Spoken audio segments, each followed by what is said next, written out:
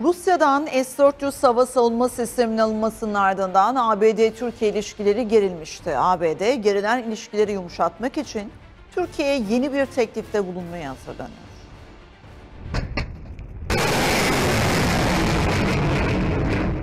Amerika Birleşik Devletleri'nin Türkiye'nin Rusya'dan hava savunma sistemi S-400'leri almasından sonra gerilenen ilişkileri yumuşatacak bir adım atması bekleniyor.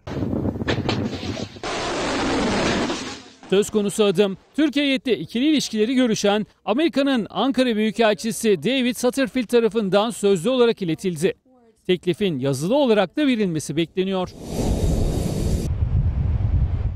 Hazırlanan serbest ticaret anlaşması paketinin çerçevesini Türkiye-Amerika Birleşik Devletleri ticaret hacminin 100 milyar dolar seviyesine çıkarılması oluşturacak.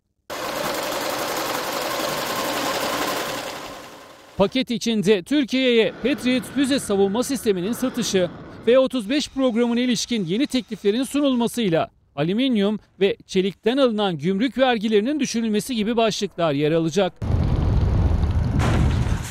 Amerika'nın yeni Ankara Büyükelçisi David Satterfield'ın önceki Cuma günü Cumhurbaşkanlığında bu konu hakkında bilgilendirme yaptığı öğrenildi.